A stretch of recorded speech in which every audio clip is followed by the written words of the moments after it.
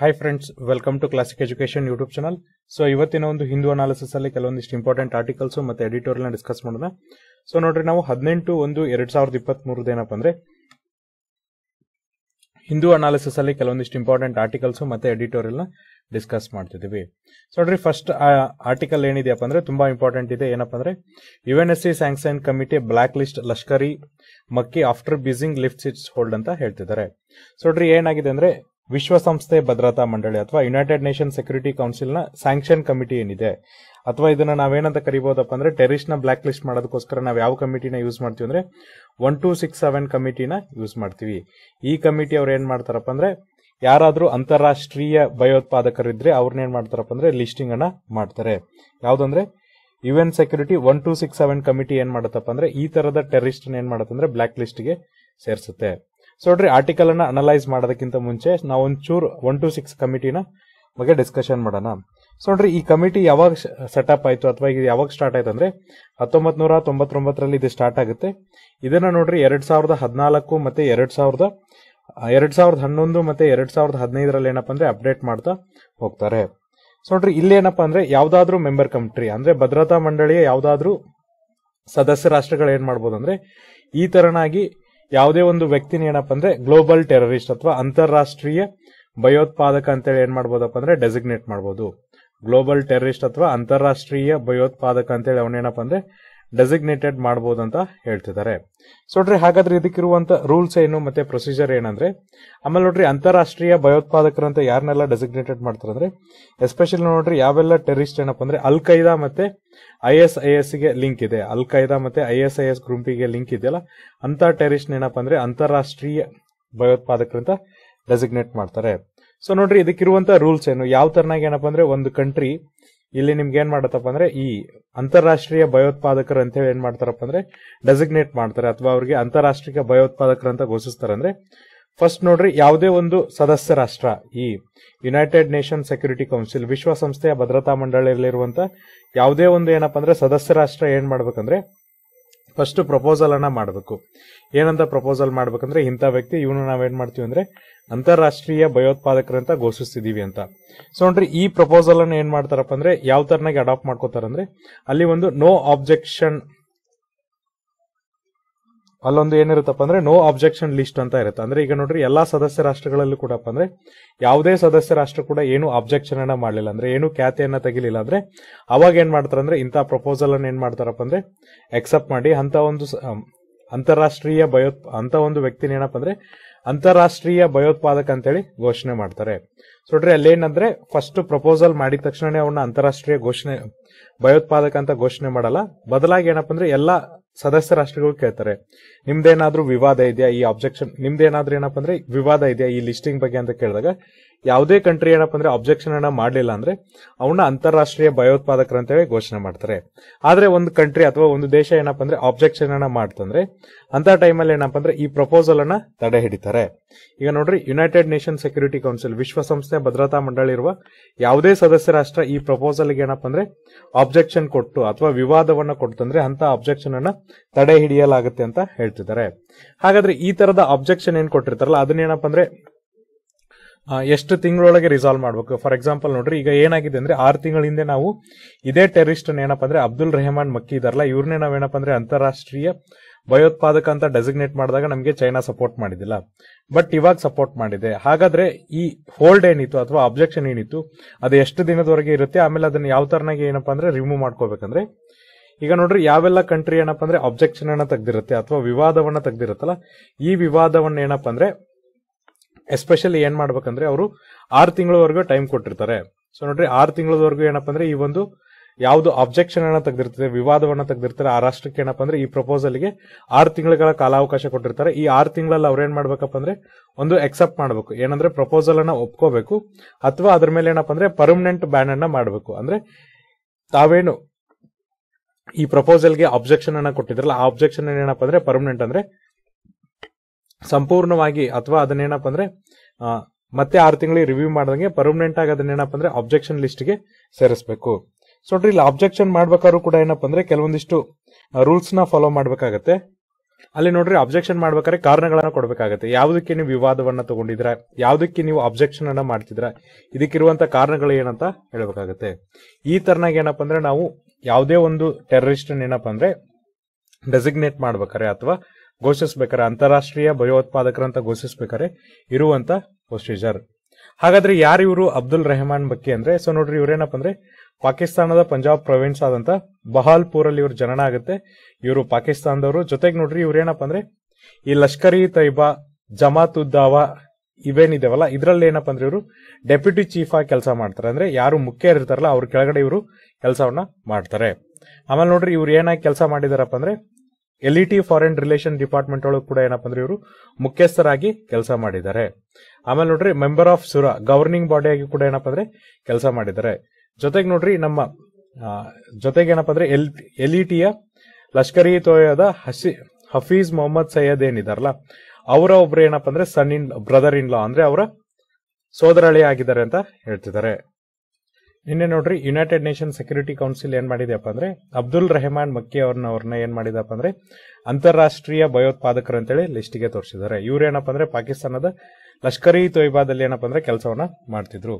So ನೋಡ್ರಿ ಮುಂಚೆ ಏನಪ್ಪ ಅಂದ್ರೆ ಜೂನ್ ಅಲ್ಲಿ ಭಾರತ ಮತ್ತೆ ಯು ಎಸ್ ಈ ಪ್ರಪೋಸಲ್ ಅನ್ನ ಮಾಡುತ್ತೆ. ಅಂದ್ರೆ ಅಬ್ದುಲ್ ರೆಹಮಾನ್ ಮಕ್ಕೇನ್ ಏನಪ್ಪ ಅಂದ್ರೆ ಅಂತಾರಾಷ್ಟ್ರೀಯ ಭಯೋತ್ಪಾದಕ ಅಂತ ಘೋಷಿಸ್ಬೇಕಂತ. ಆದ್ರೆ ಚೈನಾ ಏನ್ ಮಾಡತ್ತಪ್ಪ ಅಂದ್ರೆ ಒಂದು ಟೆಕ್ನಿಕಲ್ ಹೋಲ್ಡ್ ಅನ್ನ ಇಡುತ್ತೆ. ಆದ್ರೆ ನಿನ್ನೆ ನಡೆದಂತ ಒಂದು ಸಭೆಯಲ್ಲಿ ಏನ್ ಮಾಡ್ತಾರಪ್ಪ ಅಂದ್ರೆ ಜೂನ್ ಅಲ್ಲಿ ಅದನ್ನ ಹೋಲ್ಡ್ ಮಾಡಿದ್ರು. ಈಗ ನೋಡ್ರಿ, ಜನವರಿ ಆಲ್ಮೋಸ್ಟ್ ಆರು ತಿಂಗಳಾದ್ಮೇಲೆ ಏನಪ್ಪ ಅಂದ್ರೆ ಆ ಹೋಲ್ಡ್ ಅನ್ನ ಅವರು ತೆಗೆದುಕೊಳ್ತಾರೆ. ಹಾಗಾಗಿ ಅಬ್ದುಲ್ ರೆಹಮಾನ್ ಮಕ್ಕಿ ಇವ್ರನ್ನ ಏನ್ ಮಾಡ್ತಾರಪ್ಪ ಅಂದ್ರೆ ಅಂತಾರಾಷ್ಟ್ರೀಯ ಭಯೋತ್ಪಾದಕ ಅಂತೇಳಿ ಘೋಷಿಸ್ತಾರೆ. ಸೊ ನೋಡ್ರಿ ಈ ಅಬ್ದುಲ್ ರೆಹಮಾನ್ ಮಕ್ಕಿ ಏನ್ ಮಾಡ್ತಿದ್ರಪ್ಪ ಅಂದ್ರೆ ಈ ಭಯೋತ್ಪಾದಕರಿಗೆ ಬೇಕಾದಂತ ಹಣವನ್ನ ಸಂಗ್ರಹ ಮಾಡ್ತಿದ್ರು. ಜೊತೆಗೆ ಅವರನ್ನ ನೇಮಕಾತಿಯನ್ನ ಮಾಡ್ಕೋತಿದ್ರು, ಭಯೋತ್ಪಾದನೆಗೆ ನೇಮಕಾತಿಯನ್ನ ಮಾಡ್ಕೋತಿದ್ರು. ಜೊತೆಗೆ ನೋಡ್ರಿ, ಯುವಕರನ್ನ ಏನಪ್ಪ ಅಂದ್ರೆ ರಾಡಿಕಲೈಸ್ ಮಾಡ್ತಿದ್ರು. ಎಸ್ಪೆಷಲಿ ಏನಪ್ಪ ಅಂದ್ರೆ ಹಿಂಸೆ ಮತ್ತೆ ಯಾವ ತರನ ನೀವು ಹಿಂಸಾಚಾರದಲ್ಲಿ ತೊಡಗಬೇಕು ಮತ್ತೆ ಯಾವ ತರನ ನೀವೇನಪ್ಪ ಅಂದ್ರೆ ಭಾರತದಲ್ಲಿ ಭಯೋತ್ಪಾದಕ ಚಟುವಟಿಕೆಗಳನ್ನ ಮಾಡ್ಬೇಕಂತ ಏನಪ್ಪ ಅಂದ್ರೆ ಯುವಕರನ್ನ ನೇಮಕಾತಿ ಮಾಡಿ ಅವರಿಗೆ ತರಬೇತಿಯನ್ನ ಕೊಡ್ತಿದ್ರು. ಎಸ್ಪೆಷಲಿ ಎಲ್ಲಪ್ಪ ಅಂದ್ರೆ ನಮ್ಮ ದೇಶದ ಜಮ್ಮು ಅಂಡ್ ಕಾಶ್ಮೀರ್ ರಾಜ್ಯದಲ್ಲಿ ಅಥವಾ ಯೂನಿಯನ್ ಟೆರಿಟರಿಲಿ ಯಾವ ತರನಾಗಿ ನೀವೇನಪ್ಪ ಅಂದ್ರೆ ಈ ಹಿಂಸಾಚಾರ ಘಟನೆಗಳನ್ನ ಮಾಡ್ಬೇಕಂತೇಳಿ ಏನ್ ಮಾಡ್ತಿದ್ರಪ್ಪ ಅಂದ್ರೆ ಇವರು ತರಬೇತಿಯನ್ನ ಕೊಡ್ತಿದ್ರು. ಈ ಒಂದಿಷ್ಟು ರೀಸನ್ಗೋಸ್ಕರ ಏನಪ್ಪ ಅಂದ್ರೆ ಇವ್ರನ್ನ ಅಂತಾರಾಷ್ಟ್ರೀಯ ಭಯೋತ್ಪಾದಕ ಅಂತ ಘೋಷಿಸಿದ್ದಾರೆ. ಸೊ ನೋಡ್ರಿ ನಮ್ಗೀಗ ಎರಡು ವರ್ಷ ಏನಪ್ಪ ಅಂದ್ರೆ ಯುನೈಟೆಡ್ ನೇಷನ್ ಸೆಕ್ಯೂರಿಟಿ ಕೌನ್ಸಿಲ್ ವಿಶ್ವಸಂಸ್ಥೆಯ ಭದ್ರತಾ ಮಂಡಳಿಯಲ್ಲಿ ಏನು ಸದಸ್ಯತ್ವ ಸಿಕ್ಕಿದೆಯಲ್ಲ, ಅದಕ್ಕೋಸ್ಕರ ನಾವು ಐದು ಹೆಸರನ್ನ ಪ್ರಪೋಸಲ್ ಮಾಡಿದ್ವಿ. ಅಂತಾರಾಷ್ಟ್ರೀಯ ಭಯೋತ್ಪಾದಕರನ್ನ ಘೋಷಿಸಿದಂತೆ ಐದು ಹೆಸರನ್ನ ಇಟ್ಟಿದ್ವಿ. ಅದರಲ್ಲಿ ಈಗ ಏನಪ್ಪ ಅಂದ್ರೆ ಅಬ್ದುಲ್ ರೆಹಮಾನ್ ಮಕ್ಕಿಯನ್ನು ಏನಪ್ಪ ಅಂದ್ರೆ ಅಂತಾರಾಷ್ಟ್ರೀಯ ಭಯೋತ್ಪಾದಕರನ್ನಾಗಿ ಮಾಡಿದ್ದಾರೆ. ಇನ್ನುಳಿದಂತ ನಾಲ್ಕು ಹೆಸರು ಯಾವ್ದಪ್ಪ ಅಂದ್ರೆ ಅಬ್ದುಲ್ ರೌಫ್ ಅಸ್ಗರ್. ಇವ್ರೇನಪ್ಪ ಅಂದ್ರೆ ಜೈಷ್ ಇ ಮೊಹಮ್ಮದಿನ ಒಂದು ಭಯೋತ್ಪಾದಕರು. ಸಾಜಿದ್ ಮೀರ್, ಸಾಜಿ, ಸಾಹಿದ್ ಮೊಹಮ್ಮದ್, ತಲಹಾ ಸಾಯಿದ್ ಇವರೆಲ್ಲ ಏನಪ್ಪ ಅಂದ್ರೆ ಲಷ್ಕರಿ ತೊಯ್ಬಾದ್ ಏನಪ್ಪ ಅಂದ್ರೆ ಭಯೋತ್ಪಾದಕರಾಗಿ ಕೆಲಸವನ್ನ ಮಾಡ್ತಿದ್ದಾರೆ. ಇವರಷ್ಟು ಏನಪ್ಪ ಅಂದ್ರೆ ಅಂತಾರಾಷ್ಟ್ರೀಯ ಭಯೋತ್ಪಾದಕರಾಗಿ ಘೋಷಿಸೋದಕ್ಕೆ ಏನಪ್ಪ ಅಂದ್ರೆ ಭಾರತ ಪ್ರಪೋಸಲ್ ಮಾಡಿತ್ತು. ಅದರಲ್ಲಿ ಈಗ ಒಂದಕ್ಕೆ ಸಕ್ಸಸ್ಫುಲ್ ಆಗಿದೆ. ಸೊ ನೋಡ್ರಿ, ನಮ್ಮ ನೆಕ್ಸ್ಟ್ ಆರ್ಟಿಕಲ್ ಕೂಡ ಏನಪ್ಪ ಅಂದ್ರೆ ಲಷ್ಕರಿಯ ತೊಯ್ಬಾ ಬಗ್ಗೆನೇ ಇದೆ. ಈ U N S C sanction ಕಮಿಟಿಯಲ್ಲಿ ಅಥವಾ ಅಂತಾರಾಷ್ಟ್ರೀಯ ಭಯೋತ್ಪಾದಕರನ್ನಾಗಿ ಏನಪ್ಪ ಅಂದ್ರೆ ಡೆಸಿಗ್ನೇಟ್ ಮಾಡಿದ್ರೆ, ಏನೆಲ್ಲ ಅವರಿಗೆ ಏನಪ್ಪ ಅಂದ್ರೆ ಹೊಡೆತಗಳಾಗುತ್ತೆ ಅನ್ನೋದನ್ನ ಬಗ್ಗೆ ಇಲ್ಲಿ ಡಿಸ್ಕಷನ್ ಅನ್ನ ಮಾಡ್ತಿದ್ದಾರೆ. ಸೊ ನೋಡ್ರಿ, ಒಬ್ಬ ವ್ಯಕ್ತಿಯನ್ನ ನಾವೇನಪ್ಪ ಅಂದ್ರೆ ಅಂತಾರಾಷ್ಟ್ರೀಯ ಭಯೋತ್ಪಾದಕರಾಗಿ ಘೋಷಿಸಿದ್ರೆ ಅಲ್ಲಿ ಅವ್ರಿಗೆ ಏನಾಗತ್ತಪ್ಪ ಅಂದ್ರೆ ಅವ್ರ ಆಸ್ತಿ ಪಾಸ್ತಿಗಳು ಏನಿರುತ್ತಲ್ಲ, ಅದನ್ನೇನಪ್ಪ ಅಂದ್ರೆ ಸಂಪೂರ್ಣವಾಗಿ ನಿಷ್ಕ್ರಿಯಗೊಳಿಸಲಾಗುತ್ತೆ ಅಂದ್ರೆ ಅವ್ರಿಗೆ ಹೆಸರಲ್ಲಿ ಯಾವುದೇ ಆಸ್ತಿ ಪಾಸ್ತಿಗಳಿದ್ರೆ ಅದನ್ನ ಸಂಪೂರ್ಣವಾಗಿ ನಿಷ್ಕ್ರಿಯ ಮಾಡಲಾಗುತ್ತೆ. ಜೊತೆಗೆ ಅವ್ರಿಗೆ ಏನಪ್ಪ ಅಂದ್ರೆ ಟ್ರಾವೆಲ್ ಬಾಂಡ್ ಮಾಡಾಗುತ್ತೆ. ಅಂದ್ರೆ ಒಂದು ದೇಶದಿಂದ ಇನ್ನೊಂದು ದೇಶಕ್ಕೆ ಹೊರಡಕ್ಕೆ ಅಥವಾ ವಿದೇಶಕ್ಕೆ ಹೋಗಕ್ಕೆ ಏನಪ್ಪ ಅಂದ್ರೆ ಅವ್ರಿಗೆ ಅವಕಾಶಗಳಿರಲ್ಲ ಆಮೇಲೆ ನೋಡ್ರಿ, ಅವ್ರು ಯಾವುದೇ ತರನಾಗ ಏನಪ್ಪ ಅಂದ್ರೆ ಆರ್ಮ್ಸ್ ಅಂಡ್ ಅಮ್ಯುನೇಷನ್ಸ್ ಅಂದ್ರೆ ಏನಪ್ಪ ಅಂದ್ರೆ ಶಸ್ತ್ರಾಸ್ತ್ರಗಳನ್ನ ಖರೀದಿ ಮಾಡೋದಕ್ಕೆ ಅವಕಾಶ ಇರೋದಿಲ್ಲ. ಜೊತೆಗೆ ಅವರ ಆಸ್ತಿಗಳನ್ನ ಇಲ್ಲಿ ಫ್ರೋಜನ್ ಮಾಡಕ್ ಮಾಡ್ತಾರೆ. ಜೊತೆಗೆ ಏನಪ್ಪ ಅಂದ್ರೆ ಅವರಿಗೆ ಫಂಡ್ ರೈಸ್ ಮಾಡಕ್ಕಾಗಲ್ಲ. ಈಗ ಅವ್ರ ಆಸ್ತಿ ಪಾಸ್ತಿ ಮತ್ತೆ ಬ್ಯಾಂಕ್ ಅಕೌಂಟ್ ಅನ್ನೆಲ್ಲ ನಿಷ್ಕ್ರಿಯಗೊಳಿಸಿದ ಮೇಲೆ ಏನಪ್ಪ ಅಂದ್ರೆ ಅವರು ಹಣವನ್ನ ಸಂಗ್ರಹಿಸಕ್ಕಾಗಲ್ಲ. ಕಂಪ್ಲೀಟ್ ಆಗಿ ಅವ್ರನ್ನ ಏನ್ ಮಾಡ್ತಾರಪ್ಪ ಅಂದ್ರೆ ಕಟ್ಟಿ ಹಾಕ್ತಾರೆ. ಆರ್ಥಿಕವಾಗಿ ಅವ್ರನ್ನ ಏನಪ್ಪ ಅಂದ್ರೆ ಕಟ್ಟಿ ಹಾಕ್ತಾರೆ. ಸೊ ನೋಡ್ರಿ, ಈಗ ಚೈನಾ ಏನ್ ಮಾಡಿದೆಪ್ಪ ಅಂದ್ರೆ ಈ ಮಕ್ಕಿ ಅವ್ರನ್ನ ಏನಪ್ಪ ಅಂದ್ರೆ ಅಂತಾರಾಷ್ಟ್ರೀಯ ಭಯೋತ್ಪಾದಕರು ಮಾಡಕ್ ಸಹಕಾರ ಮಾಡಿದೆ. ಅದೇ ತರನಾಗಿ ಏನಪ್ಪ ಅಂದ್ರೆ ಎರಡ್ ಸಾವಿರದ ಹತ್ತೊಂಬತ್ತರಲ್ಲೂ ಕೂಡ ಏನಪ್ಪ ಅಂದ್ರೆ ಚೈನಾ ಏನ್ ಮಾಡಿತ್ತಪ್ಪ ಅಂದ್ರೆ ಭಾರತದ ದಶಕದ ಒಂದು ಡಿಮ್ಯಾಂಡ್ ಆಗಿತ್ತು. ಏನಪ್ಪ ಅಂದ್ರೆ ಜೈಷ್ ಎ ನ ಚೀಫ್ ಆದಂತ ಮಸೂದ್ ಅಜರ್ ಏನ್ ಮಾಡ್ರಿ ಅಂದ್ರೆ ನೀವು ಅಂತಾರಾಷ್ಟ್ರೀಯ ಭಯೋತ್ಪಾದಕರನ್ನಾಗಿ ಘೋಷಣೆ ಮಾಡ್ರಿ ಅಂತ ಭಾರತದ, ಭಾರತ ಏನಪ್ಪ ಅಂದ್ರೆ ದಶಕಗಳಿಂದಾನೇ ಹೇಳ್ತಿತ್ತು. ಯಾಕಂದ್ರೆ ಈ ಮಸೂದ್ ಅಜರ್ ನೋಡ್ರಿ ನಮ್ಮ ಟ್ವೆಂಟಿ ಸಿಕ್ಸ್ ಲೆವೆನ್ ಅಟ್ಯಾಕ್ ಏನಿದೆ ಅಂದ್ರೆ, ಮುಂಬೈ ಅಟ್ಯಾಕ್ ಏನಿದೆಯಲ್ಲ ಅದ್ರೊಳಗೆ ಏನಪ್ಪ ಅಂದ್ರೆ ಮಾಸ್ಟರ್ ಮೈಂಡ್ ಇದ್ರು. ಅದಕ್ಕೋಸ್ಕರ ನಾವು ಇವ್ರನ್ನ ಅಂತಾರಾಷ್ಟ್ರೀಯ ಭಯೋತ್ಪಾದಕರಾಗಿ ಘೋಷ- ಘೋಷಣೆ ಮಾಡಕ್ ಪ್ರಯತ್ನ ಪಡ್ತಿದ್ವಿ. ಆದ್ರೆ ಚೈನಾ ಬ್ಲಾಕ್ ಮಾಡ್ತಿತ್ತು. ಆದ್ರೆ ಎರಡ್ ಸಾವಿರದ ಹತ್ತೊಂಬತ್ತರಲ್ಲಿ ನೋಡ್ರಿ ಅಂತಾರಾಷ್ಟ್ರೀಯ ಸಮುದಾಯ ಏನಪ್ಪ ಅಂದ್ರೆ ಈ ಪುಲ್ವಾಮಾ ಸುಸೈಡ್ ಬಾಂಬಿಂಗ್ ಇಂದ ಏನ್ ಮಾಡತ್ತಪ್ಪ ಅಂದ್ರೆ ರೊಚ್ಚಿಗೇಳುತ್ತೆ ಅವಾಗ ಏನಪ್ಪ ಅಂದ್ರೆ ಅಂತಾರಾಷ್ಟ್ರೀಯ ಸಮುದಾಯ ಚೈನಾದ ಮೇಲೆ ಪ್ರೆಷರನ್ನ ಹಾಕಿದಾಗ ಆಗ ಚೈನಾ ಏನ್ ಮಾಡತ್ತಪ್ಪ ಅಂದ್ರೆ ತಾವೇನು ಹೋಲ್ಡ್ ಅನ್ನ ಇಟ್ಟಿರ್ತಾರೆ. ಈಗ ಮೊಹಮ್ಮದ್ ಅಜರ್ ಮೇಲೆ ಏನಪ್ಪ ಅಂದ್ರೆ ಮಸೂದ್ ಅಜರ್ ಮೇಲೆ ಏನಪ್ಪ ಅಂದ್ರೆ ತಾವು ಬ್ಲಾಕ್ ಮಾಡೋದಕ್ಕೆ ಏನ್ ಹೋಲ್ಡ್ ಅನ್ನ ಟೆಕ್ನಿಕಲ್ ಹೋಲ್ಡ್ ಅನ್ನ ಇಟ್ಟಿರ್ತಾರಲ್ಲ, ಅದನ್ನ ತೆಗೆದುಹಾಕತ್ತೆ ಎರಡ್ ಸಾವಿರದ ಹತ್ತೊಂಬತ್ತರಲ್ಲಿ ಏನಪ್ಪ ಅಂದ್ರೆ ಮಸೂದ್ ಅಜರ್ ಏನ್ ಮಾಡತ್ತಂದ್ರೆ ಭಾರತ ಸಕ್ಸಸ್ಫುಲ್ ಆಗಿ ಏನಪ್ಪ ಅಂದ್ರೆ ಅಂತಾರಾಷ್ಟ್ರೀಯ ಟೆರರಿಸ್ಟ್ ಅಥವಾ ಅಂತಾರಾಷ್ಟ್ರೀಯ ಭಯೋತ್ಪಾದಕ ಅಂತೇಳಿ ಘೋಷಣೆಯನ್ನ ಮಾಡುತ್ತೆ. ಇದ್ರ ಜೊತೆಗೆ ನೋಡ್ರಿ, ಭಾರತ ಕೂಡ ಏನಪ್ಪಾ ಅಂದ್ರೆ ಈ ಒಂದೇ ಟೆರರಿಸ್ಟ್ ಅಲ್ಲ, ನಮ್ಮ ದೇಶದಲ್ಲಿ ಏನಪ್ಪಾ ಅಂದ್ರೆ ನಿಮಗೆ ಗೊತ್ತು, ಭಯೋತ್ಪಾದಕರು ತುಂಬಾ ದಾಳಿಗಳನ್ನ ನಡೆಸಿದ್ದಾರೆ. ಸೊ ನೋಡ್ರಿ, ಯಾವಾಗಿಂದ ದಾಳಿಗಳು ನಡೀತಿದೆ ಅಂದ್ರೆ ಹತ್ತೊಂಬತ್ ನೂರ ತೊಂಬತ್ತೊಂಬತ್ತರಲ್ಲಿ I C eight one four Kandahar hijack ಅನ್ನ ಮಾಡ್ತಾರೆ. ಅಲ್ಲಿ ಆಮೇಲೆ ಮುಂಬೈ ಅಟ್ಯಾಕ್ಸ್ ಇರ್ಬೋದು, ಆಮೇಲೆ ಇತ್ತೀಚೆಗಾದಂತಹ ಪಠಾಣ್ಕೋಟ್ ಮತ್ತೆ ಪುಲ್ವಾಮಾ ದಾಳಿಗಳು ಇಟ್ಕೊಂಡು ಎಲ್ಲಾ ಭಯೋತ್ಪಾದಕರನ್ನ ನಾವೇನಪ್ಪ ಅಂದ್ರೆ ಅಂತಾರಾಷ್ಟ್ರೀಯ ಭಯೋತ್ಪಾದಕರು ಅಂತೇಳಿ ಘೋಷಣೆ ಮಾಡೋದಕ್ಕೆ ಪ್ರಯತ್ನ ಮಾಡ್ತಿದ್ವಿ. ಅದಕ್ಕೋಸ್ಕರ ನೋಡ್ರಿ ನ್ಯೂ ಡೆಲ್ಲಿ ಏನ್ ಮಾಡ್ತಿದೆ ಅಂದ್ರೆ ಸಿಸಾಸ್ಪಿನ್ ಟಾಸ್ಕ್ ಅನ್ನ ಒಪ್ಕೊಂಡಿದೆ. ಏನಿದು ಸಿಸಾಸ್ಪಿನ್ ಟಾಸ್ಕ್ ಅಂದ್ರೆ ನೋಡ್ರಿ, ಇದು ನೆವರ್ ಕಂಪ್ಲೀಟಿಂಗ್ ಈಗ ಗುಡ್ಡದ ಮೇಲೆ ಏನಪ್ಪ ಅಂದ್ರೆ ಕಲ್ಲನ್ನ ತೆಳೆಯೋದು ಯಾವಾಗ ಕಂಪ್ಲೀಟ್ ಆಗಲ್ಲ. ಅದೇ ತರ ಭಾರತ ಏನಪ್ಪ ಅಂದ್ರೆ ಈ ಟೆರರಿಸ್ಟ್ ಅನ್ನ ಅಥವಾ ಟೆರರಿಸಮ್ ಅನ್ನ ಅಥವಾ ಭಯೋತ್ಪಾದಕನ ನಾಶ ಮಾಡಿಸೋದಕ್ಕೋತಾರ ರೆಸ್ಟ್ ಮಾಡ್ದೇನೆ ಕೆಲಸ ಮಾಡ್ತಿದೆ ಅಂತ ಹೇಳ್ತಿದ್ರೆ ಆಮೇಲೆ ನೋಡ್ರಿ, ಮಕ್ಕಿನ ಈಗೇನು ಡೆಸಿಗ್ನೇಷನ್ ಮಾಡಿದ್ದಾರೆ ಅಂದ್ರೆ ಮಕ್ಕೀನ ಅಂತಾರಾಷ್ಟ್ರೀಯ ಭಯೋತ್ಪಾದಕರು ಏನು ಘೋಷಣೆ ಮಾಡಿದ್ರಲ್ಲ? ಇದು ಯಾವಾಗ ಬಂದಿದೆ ಅಂದ್ರೆ ಭಾರತ ಮತ್ತೆ ಚೈನಾ ನೋಡ್ರಿ, ಈ ಲೈನ್ ಆಫ್ ಆಕ್ಚುಯಲ್ ಕಂಟ್ರೋಲ್ ಕಡೆಗಡೆ ಏನಪ್ಪ ಅಂದ್ರೆ ಸ್ಟ್ಯಾಂಡ್ ಅಪ್ ಏನ್ ಮಾಡ್ಕೊಂಡಿದೆ ಅಂದ್ರೆ ಒಬ್ರಿಗೊಬ್ರು ಮುಖ, ಮುಖಾಮುಖಿ ಏನಾಗಿದ್ದಾರೆ, ಸ್ಟ್ಯಾಂಡ್ ಅಪ್ ಏನಾಗಿದ್ದಾರೆ? ಆ ಸಮಯದಲ್ಲಿ ಬಂದಂತ ಒಂದು ಏನಪ್ಪ ಅಂದ್ರೆ ಇದು ಡಿಸಿಷನ್ ಆಗಿದೆ. ಹಾಗಾಗಿ ಭಾರತ ಮತ್ತೆ ಚೈನಾ ಮಧ್ಯೆ ಏನಪ್ಪ ಅಂದ್ರೆ ಏನು ಸಂಬಂಧಗಳಿದೆಯಲ್ಲ, ಅದಿನ್ನೂ ಕೂಡ ಏನಪ್ಪ ಅಂದ್ರೆ ಜಾಸ್ತಿ ಆಗ್ಬೋದು ಅಂತ ಹೇಳ್ತಿದ್ದಾರೆ. ಆಮೇಲೆ ನೋಡ್ರಿ, ಭಾರತ ಮತ್ತೆ ಚೈನಾದ ಸಂಬಂಧಗಳು ಇನ್ನೂ ಉತ್ತಮವಾಗಿ ಯಾವಾಗ ಗೊತ್ತಾಗತ್ತಪ್ಪ ಅಂದ್ರೆ, ನಾವೀಗ ನಾಲ್ಕು ಜನ ಟೆರಿಸ್ಟ್ ಅನ್ನ ಏನ್ ಪ್ರಪೋಸಲ್ ಮಾಡಿದ್ವಿ, ಅಂತಾರಾಷ್ಟ್ರೀಯ ಭಯೋತ್ಪಾದಕರನ್ನ ಮಾಡ್ರಿ ಅಂತ. ಯಾರ್ಯಾರಪ್ಪ ಅಂದ್ರೆ, ಹಫೀಜ್ ಸೈಯದ್ ಅವರ ಮಗ ಆದಂತ ತಲಹಾ, ಆಮೇಲೆ ಟ್ವೆಂಟಿ ಸಿಕ್ಸ್ ಲೆವೆನ್ ನಮ್ಮ ಮುಂಬೈ ದಾಳಿ ಏನಾಗತ್ತಲ್ಲ, ಅಲ್ಲಿ ಹ್ಯಾಂಡ್ಲರ್ ಆದಂತ ಸಾಜಿದ್ ಮೀರ್, ಅದೇ ತರ ನೋಡ್ರಿ, ಲಷ್ಕರ್ ಇ ತೊಯ್ಬಾದ ರಿಕ್ರೂಟರ್ ಆದಂತ ಶಾಹಿದ್ ಮೆಹಮೂದ್ ಇವ್ರಿಗೆ, ಮತ್ತೆ ಅಬ್ದುಲ್ ರಹ, ರಹೂಫ್ ಅಸ್ಕರ್ ಇವ್ರೇನಪ್ಪ ಅಂದ್ರೆ, ಮಸೂದ್ ಅಜರ್ನ ಸಹೋದರರಾಗಿದ್ದಾರೆ. ಜೊತೆಗೆ ನೋಡ್ರಿ, ಇವ್ರೇನಪ್ಪ ಅಂದ್ರೆ I C eight one four, ಏನ್ ಹೈಜಾಕ್ ಆಗತ್ತಲ್ಲ ಕಾಂದಹಾರ್ ಹೈಜಾಕ್ ಆಗತ್ತಲ್ಲ ಆ ಹೈಜಾಕ್ ಅಲ್ಲೂ ಕೂಡ ಏನಪ್ಪ ಅಂದ್ರೆ ಇವರು ಬೇಕಾದವರು. ಈ ನಾಲ್ಕು ಜನನ ಡೆಸಿಗ್ನೇಟ್ ಮಾಡಿದಾಗ ಚೈನಾ ಯಾವ ತರನಾಗಿ ರಿಯಾಕ್ಟ್ ಮಾಡುತ್ತೆ ಅಂತ ನೋಡಿಕೊಂಡು, ನಮ್ಮ ಮತ್ತೆ ಚೈನಾದ ರಿಲೇಷನ್ಸ್ ಏನಿದೆ, ಸಂಬಂಧಗಳೇನಿದೆ, ಅದು ಇಂಪ್ರೂವ್ಮೆಂಟ್ ಆಗುತ್ತೆ ಅಂತ ಹೇಳ್ತಿದ್ದಾರೆ. ಸೊ ನೋಡ್ರಿ ನೆಕ್ಸ್ಟ್ ನಾವು ಆರ್ಟಿಕಲ್ ಡಿಸ್ಕಸ್ ಮಾಡ್ಕೊ ಹೋಗ್ತಿರೋದು ಯಾವ್ದಪ್ಪ ಅಂದ್ರೆ ಈ ಚೈನಾದ ಪಾಪ್ಯುಲೇಷನ್ಸ್ ಏನಾಗ್ತಿದೆ ಅಂದ್ರೆ ಕಮ್ಮಿ ಆಗ್ತಿದೆ. ಇನ್ನ landmark shift China's population declines in twenty twenty two ಅಂತ ಹೇಳ್ತಿದ್ದಾರೆ. ಅಂದ್ರೆ ಈ ಚೈನಾದ ಜನಸಂಖ್ಯೆ ಏನಿದೆಯಲ್ಲ ಅದೇನಾಗ್ತಿದೆಯಪ್ಪ ಅಂದ್ರೆ ಕಮ್ಮಿ ಆಗ್ತಾನೆ ಬರ್ತಿದೆ ಅಂತ ಹೇಳ್ತಿದ್ದಾರೆ. ಸೊ ನೋಡ್ರಿ, ನಾವು ಇದನ್ನ ಡಿಸ್ಕಷನ್ ಮಾಡೋದಕ್ಕಿಂತ ಮುಂಚೆ ಒಂಚೂರು ಏನಪ್ಪ ಅಂದ್ರೆ global prospects global prosper population prospect twenty twenty two ಏನಿದೆ? ಜಾಗತಿಕ ಜನಸಂಖ್ಯಾ ವರದಿ ಏನಿದೆ ಅಲ್ಲ, ಎರಡ್ ಸಾವಿರದ ಇಪ್ಪತ್ತು, ಅದ್ರ ಬಗ್ಗೆನೂ ಕೂಡ ಸ್ವಲ್ಪ ಡಿಸ್ಕಷನ್ ಅನ್ನ ಮಾಡೋಣ. ಈಗ ನೋಡ್ರಿ, ಈ ಡಿಕ್ಲನೇಷನ್ ಏನಿದೆ? ಅಂದ್ರೆ ಈಗ ಜನಸಂಖ್ಯೆ ಕಮ್ಮಿ ಏನಾಗ್ತಿದೆ? ಇದು ಕೇವಲ ಏನಪ್ಪ ಅಂದ್ರೆ ಚೈನಾದಲ್ಲಿ ಮಾತ್ರ ಆಗ್ತಿಲ್ಲ. ವರ್ಲ್ಡ್ ಅಲ್ಲಿ ನಿಮಗೆ ಪಾಪ್ಯುಲೇಷನ್ ಜಾಸ್ತಿ ಆಗ್ತಿದೆ ದಿನದಿಂದ ದಿನಕ್ಕೆ. ಬಟ್ ಏನಾಗ್ತಿದೆಯಪ್ಪ ಅಂದ್ರೆ ಫರ್ಟಿಲಿಟಿ ರೇಟ್ ಅಂದ್ರೆ ಸಂತಾನೋತ್ಪತ್ತಿ ದರ ಏನಿದೆಯಲ್ಲ, ಅದೇನಪ್ಪ ಅಂದ್ರೆ ಡೇ ಬೈ ಡೇ ಕಮ್ಮಿ ಆಗ್ತಿದೆ ಅಂತ ಹೇಳ್ತಿದ್ದಾರೆ. ಸೊಡ್ರಿ ಈ ಗ್ಲೋಬಲ್ ವರ್ಲ್ಡ್ ಪಾಪ್ಯುಲೇಷನ್ ಪ್ರಾಸ್ಪೆಕ್ಟ್ ಪ್ರಕಾರ ಏನಪ್ಪ ಅಂದ್ರೆ, ಜಾಗತಿಕವಾಗಿ ಫರ್ಟಿಲಿಟಿ ರೇಟ್ ಎಷ್ಟು ಕಮ್ಮಿ ಆಗಿದೆ ಅಂದ್ರೆ ನೋಡ್ರಿ ಟೋಟಲ್ ಫರ್ಟಿಲಿಟಿ ರೇಟ್ ಹತ್ತೊಂಬತ್ ನೂರ ಐವತ್ತರಲ್ಲಿ ಏನಪ್ಪ ಅಂದ್ರೆ ಐದು ಇದ್ದಿದ್ದು. ಅಂದ್ರೆ ಒಂದು ಹೆಣ್ಮಕ್ಳು ಏನಪ್ಪ ಅಂದ್ರೆ ಐದು ಮಕ್ಕಳಿಗೆ ಜನ್ಮವನ್ನು ಜನ, ಜನನ ಕೊಡುವಂತ ಕೆಪಾಸಿಟಿ ಇದ್ದು ಈಗ ಎಷ್ಟಕ್ಕೆ ಬಂದಿದೆ ಅಂದ್ರೆ ಟೂ ಪಾಯಿಂಟ್ ಜೀರೋಗೆ ಬಂದಿದೆ ಅಂತ ಹೇಳ್ತಿದ್ದಾರೆ. ಅಂದ್ರೆ ಸಂತಾನೋತ್ಪತ್ತಿ ದರ ಏನಪ್ಪ ಅಂದ್ರೆ ಒಂದು ಮಹಿಳೆ ಐದು ಜನಕ್ಕೆ ಜನ್ಮ ಕೊಡೋದ್ರಿಂದ ಹಿಡಿದು ಈಗ ಕೇವಲ ಇಬ್ರು ಮಕ್ಕಳಿಗೆ ಜನ್ಮ ಕೊಡೋಷ್ಟು ಬಂದಿದೆ ಅಂತ ಹೇಳ್ತಿದ್ದಾರೆ. ಇದೇ ತರ ನೋಡ್ರಿ, ನಮ್ಮ latest national family health survey ಪ್ರಕಾರ ನಮ್ಮ ದೇಶದಲ್ಲಿ ಏನಪ್ಪ ಅಂದ್ರೆ ಟೋಟಲ್ ಫರ್ಟಿಲಿಟಿ ರೇಟ್ ಒಟ್ಟು ಸಂತಾನೋತ್ಪತ್ತಿ ದರ ಎಲ್ಲಿಗೆ ಬಂದಿದೆ ಅಂದ್ರೆ ಬಿಲೋ ರೀಪ್ಲೇಸ್ಮೆಂಟ್ ಲೆವೆಲ್ ಅಂದ್ರೆ ಟೂ ಪಾಯಿಂಟ್ ಜೀರೋ ಬಂದಿದೆ. ಅಂದ್ರೆ ಈಗ ನೋಡ್ರಿ ರೀಪ್ಲೇಸ್ಮೆಂಟ್ ಲೆವೆಲ್ ಅಂದ್ರೆ ನಾವು ಯಾವ್ದು ಕರಿತೀವಪ್ಪ ಅಂದ್ರೆ ಟೂ ಪಾಯಿಂಟ್ ಒನ್ಗೆ ನಾವೇನಂತ ಕರಿತೀವಪ್ಪ ಅಂದ್ರೆ ರೀಪ್ಲೇಸ್ಮೆಂಟ್ ಲೆವೆಲ್ ಅಂತ ಕರಿತೀವಿ. ಈಗ ನಮ್ಮ ಒಟ್ಟು ಸಂತಾನೋತ್ಪತ್ತಿ ದರ ಏನಪ್ಪ ಅಂದ್ರೆ ರೀಪ್ಲೇಸ್ಮೆಂಟ್ ಲೆವೆಲ್ಗಿಂತ ಕಮ್ಮಿ, ಅಂದ್ರೆ ಟೂ ಪಾಯಿಂಟ್ ಜೀರೋಗೆ ಬಂದಿದೆ ಅಂತ ಹೇಳ್ತಿದ್ದಾರೆ. ಇದರಿಂದ ಏನಪ್ಪ ಅಂದ್ರೆ ಮುಂದೆ ನಮ್ಮ ಜನಸಂಖ್ಯೆನೂ ಕೂಡ ಏನಾಗುತ್ತೆ ಅಂದ್ರೆ ಕಮ್ಮಿ ಆಗ್ತಾ ಹೋಗುತ್ತೆ ಅಂತ ಒಂದು ಸೂಚನೆಯನ್ನ ಹೇಳ್ತಿದ್ದಾರೆ. ಆಮೇಲೆ ನೋಡ್ರಿ, ನಮ್ಮ ದೇಶಕ್ಕೆ ಏನಪ್ಪ ಅಂದ್ರೆ ಸ್ವತಂತ್ರ ಬಂದಾಗ ಫರ್ಟಿಲಿಟಿ ರೇಟ್ ಎಷ್ಟಿತ್ತಪ್ಪ ಅಂದ್ರೆ ಆರು ಇತ್ತು ಅಂದ್ರೆ ಒಂದು ಹೆಣ್ಮಗಳು ಏನಪ್ಪ ಅಂದ್ರೆ ಆರು ಮಕ್ಕಳಿಗೆ ಜನ್ಮ ಕೊಡುವಂತ ಕೆಪಾಸಿಟಿ ಇತ್ತು. ಇದನ್ನ ಒಂದು ಪರ್ಸೆಂಟ್ ಕಮ್ಮಿ ಮಾಡಕ್ಕೆ ಅಥವಾ ಇದನ್ನ ಐದಕ್ಕೆ ತರಕ್ ನಮಗೆ ಏನಪ್ಪ ಅಂದ್ರೆ ಇಪ್ಪತ್ತೈದು ವರ್ಷ ಬೇಕಾಯ್ತು. ಅಂದ್ರೆ ಭಾರತದಲ್ಲಿ ಏನಪ್ಪಾ ಅಂದ್ರೆ ಜನಸಂಖ್ಯೆ ಕಂಟ್ರೋಲ್ ಮಾಡೋದಕ್ಕೋಸ್ಕರ ಏನಪ್ಪಾ ಅಂದ್ರೆ ಸರ್ಕಾರ ಪ್ರತಿ ಮಹಿಳೆ ಐದು ಮಕ್ಕಳನ್ನ ಫರ್ಟಿಲಿಟಿ ಐದು ಬರಂಗ್ ನೋಡ್ಕೊಳಕ್ ಏನಪ್ಪಾ ಅಂದ್ರೆ ಇಪ್ಪತ್ತೈದು ವರ್ಷ ಟೈಮ್ ಅನ್ನ ತೆಗೆದುಕೊಂಡ್ರು. ಆದ್ರೆ ಈಗ ಏನಾಗಿದೆ ಅಂದ್ರೆ ಈ ಆರ್ ಇದ್ದಿದ್ದು ಕೇವಲ ಎರಡಕ್ಕೆ ಬಂದಿದೆ ಅಂತ ಹೇಳ್ತಿದ್ದಾರೆ. ಇದ್ರ ಜೊತೆಗೆ ನೋಡ್ರಿ, ಇನ್ನೂ ಒಂದು ಇಂಪಾರ್ಟೆಂಟ್ ಏನಪ್ಪ ಅಂದ್ರೆ ಯಾಕೆ ಫರ್ಟಿಲಿಟಿ ರೇಟ್ ಕಮ್ಮಿ ಆಗ್ತಾ ಇದೆ? ಯಾಕೆ ಫರ್ಟಿಲಿಟಿ ರೇಟ್ ಕಮ್ಮಿ ಆಗ್ತಿದೆ ಅಂದ್ರೆ ನೋಡ್ರಿ ಜನರಲ್ ಏನಪ್ಪ ಅಂದ್ರೆ ಅವೇರ್ನೆಸ್ ಜಾಸ್ತಿ ಆಗಿದೆ. ಅಂದ್ರೆ ಯಾವ ತರನಾಗಿ ನಾವೇನಪ್ಪ ಅಂದ್ರೆ ಫ್ಯಾಮಿಲಿ ಪ್ಲಾನಿಂಗ್ ಅನ್ನ ಮಾಡ್ಕೋಬೇಕು, ಇದ್ರ ಬಗ್ಗೆ ಅವೇರ್ನೆಸ್ ಜಾಸ್ತಿ ಆಗಿದೆ. ಜೊತೆಗೆ ನೋಡ್ರಿ ಜನರಲ್ ಏನಪ್ಪ ಅಂದ್ರೆ ಶಿಕ್ಷಣ ಎಜುಕೇ ಜಾಸ್ತಿ ಆಗಿದೆ, ಅಂದ್ರೆ ಎಜುಕೇಶನ್ ಜಾಸ್ತಿ ಆಗಿದೆ. ಇದರಿಂದ ಏನಪ್ಪ ಅಂದ್ರೆ ನಾವು ಎಷ್ಟು ಮಕ್ಕಳನ್ನ ಪಡೆದ್ರೆ ನಮಗೆ ಮುಂದೆ ನಾವು ಫ್ಯಾಮಿಲಿ ಪ್ಲಾನಿಂಗ್ ಅನ್ನ ಮಾಡ್ಬೋದು, ಅವ್ರ ಶಿಕ್ಷಣದ ವೆಚ್ಚ ಇರ್ಬೋದು, ಅವರಿಗೆ ನಾಳೆ ಜಾಬ್ಸ್ ಕೊಡ್ಸೋದಿರ್ಬೋದು ಈ ತರನಾಗೆಲ್ಲ ಕ್ಯಾಲ್ಕುಲೇಷನ್ ಅನ್ನ ಮಾಡಿ ಜನ ಮುಂದೆ ಹೆಜ್ಜೆ ಇಡ್ತಿರೋದ್ರಿಂದ ಏನಪ್ಪ ಅಂದ್ರೆ ಸಂತಾನೋತ್ಪತ್ತಿ ದರ ಕಮ್ಮಿ ಆಗಿದೆ ಅಂತ ಹೇಳ್ತಿದ್ದಾರೆ. ಸೊ ನೋಡ್ರಿ, ಇದರಿಂದ ಏನಪ್ಪ ಅಂದ್ರೆ ಲಾಭಗಳೇನೋ ಇದೆ. ನಿಮ್ಗೆ ಅನ್ಸ್ಬೋದು ಏನಪ್ಪ ಅಂದ್ರೆ ನೀವೇನೋ ಗುಡ್ ನ್ಯೂಸ್ ಹೇಳಿದ್ರೆ ಯಾಕಂದ್ರೆ ಫರ್ಟಿಲಿಟಿ ರೇಟ್ ಕಮ್ಮಿ ಆಗ್ತಿದೆ ಅಂತೇಳಿ ಲಾಭಗಳೇನೋ ಇದೆ. ಆದ್ರೆ ಇಲ್ಲಿ ಕೆಲವೊಂದಿಷ್ಟು ನಷ್ಟಗಳು ಕೂಡ ಇದೆ.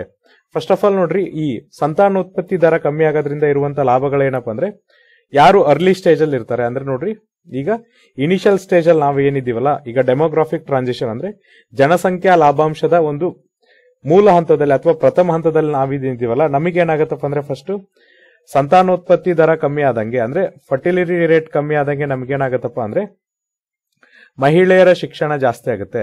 ಸೊ ನೋಡ್ರಿ, ಮಹಿಳೆಯರಿಗಿರುವಂತ ಶಿಕ್ಷಣ ಜಾಸ್ತಿ ಆಗುತ್ತೆ. ಇದರಿಂದ ಅವ್ರಿಗೆ ನಾವು ಆರೋಗ್ಯದ ಬಗ್ಗೆ ಕೊಡುವಂತ ಕಾಳಜಿ ಏನಿರುತ್ತಲ್ಲ, ಅದು ಕೂಡ ಏನಪ್ಪಾ ಅಂದ್ರೆ ಜಾಸ್ತಿ ಆಗುತ್ತೆ. ಇದರಿಂದ ಏನಾಗುತ್ತೆ ಅಂದ್ರೆ ಫರ್ಟಿಲಿಟಿ ರೇಟ್ ಕಮ್ಮಿ ಆಗುತ್ತೆ. ಜೊತೆಗೆ ಏನಪ್ಪ ಅಂದ್ರೆ ನಮಗೆ ಇನ್ಕಮ್ ಜಾಸ್ತಿ ಆಗುತ್ತೆ. ಅಂದ್ರೆ ನಮ್ಮ ಆದಾಯ ಏನಿದೆ, ಈ ಆದಾಯ ಕೂಡ ಏನಾಗತ್ತಪ್ಪ ಅಂದ್ರೆ ಜಾಸ್ತಿ ಆಗುತ್ತೆ. ಯಾವಾಗ? ಮೊದಲ ಹಂತದಲ್ಲಿ, ಈಗ ನಾವೇನು ಜನಸಂಖ್ಯಾ ಲಾಭಾಂಶದ ಮೊದಲ ಹಂತದಲ್ಲಿ ಇದೀವಲ್ಲ, ಈಗ ನಮ್ಗೆ ಏನಾಗತ್ತಪ್ಪ ಅಂದ್ರೆ ಆದಾಯ ಜಾಸ್ತಿ ಆಗುತ್ತೆ.